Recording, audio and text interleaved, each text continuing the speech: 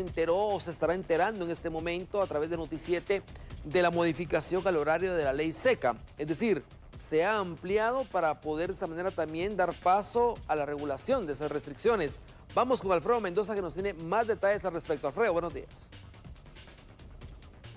Así es, gracias y muy buenos días, amigo televidente, compañeros en el estudio. Qué gusto saludarles la mañana de este miércoles. Tenemos información importante relacionada a la denominada ley seca. Y es que esta mañana sale publicado el acuerdo gubernativo 214-2021 que hace referencia a la modificación del acuerdo gubernativo 221-2004 en donde se pues, aplican las restricciones y el reglamento para el expendio de bebidas alcohólicas fermentadas y también bebidas destiladas y es que precisamente el horario es lo que se ha modificado de la venta y el expendio de bebidas alcohólicas. Anteriormente se conocía que por la pandemia pues había una restricción de poder expender este tipo de bebidas hasta las 9 de la noche. Sin embargo, este día pues sale publicado ya en el diario oficial de Centroamérica la nueva modificación en donde indica que los comercios que se dedican a vender este tipo de bebidas tienen la autorización de poder hacerlo hasta las 23 horas, es decir, hasta las 11 de la noche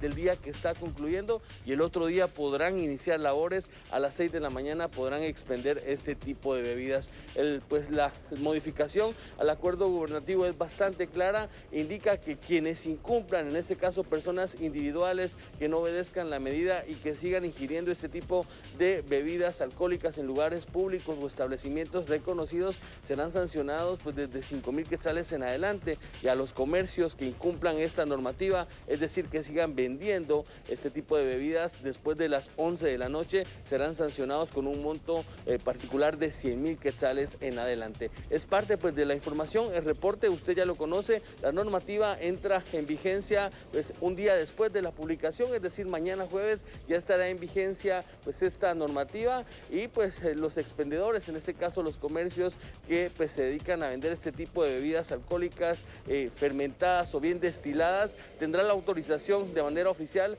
de poder eh, pues, vender, ofrecer al público en general este tipo de bebidas hasta las 23 horas. Esto obedece dentro del pues, el del acuerdo gubernativo que se publica este día, pues indica que es debido al avance que ha tenido la pandemia y pues la evolución que ha tenido pues, la vacunación en todo el territorio nacional. Es parte del reporte que tengo a esta hora de la mañana. Regreso con ustedes a Estudios Centrales.